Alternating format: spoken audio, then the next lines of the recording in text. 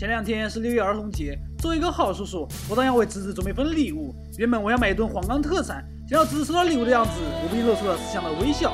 但是转念一想，又怕侄子虚不受补，英年早逝，我来阻止我激动的右手。就在我愁眉不展的时候，我的好兄弟阿喜又给我发来了信息。说他正在代理一款高端文具——人工智能转笔刀。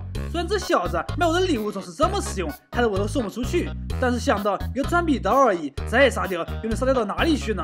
我还是选择相信了他。果不其然，第二天我就被踢出了家族群，大家纷纷称赞我为家族败类，吓得我赶紧给我的好兄弟阿邪发信息：到底一个怎样的转笔刀能给一个男孩子玩崩溃？第二天我又收到了这个文具，打开快递，首先映入眼帘的是这个略显猛男气质的女子，好像拆错快递了。哎，刚才是骗你们的，我怎么可能买猛男式玩具？没有猜错，我们继续看，看着旁边这“小公主削笔器”几个字，我才明白，原来这个女子居然是小公主。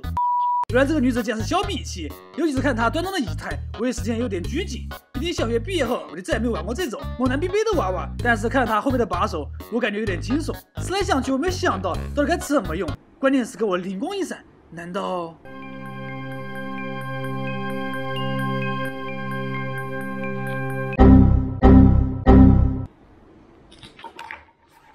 这一刻，我觉得我就是家族败类。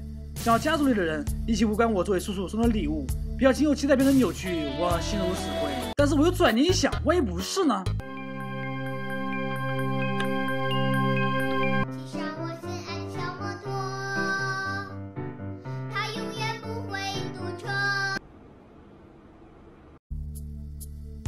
这一刻，我打心里觉得我确实是家族败类，没有错。谁能想到一个转笔刀居然是位小公主？谁能想到打开转笔刀的入口就要脱人家的衣服？谁又能想到小铅笔还戳人家的心窝子呢？但是我又转念一想，既然我已经是家族败类了，那么我一定要搞清楚这个转笔刀的灰烬要从哪里拿出来呢？看着它全封闭的造型，我百思不得其解。但是我又灵机一动，如果按照这个设计者的变态思路，难道？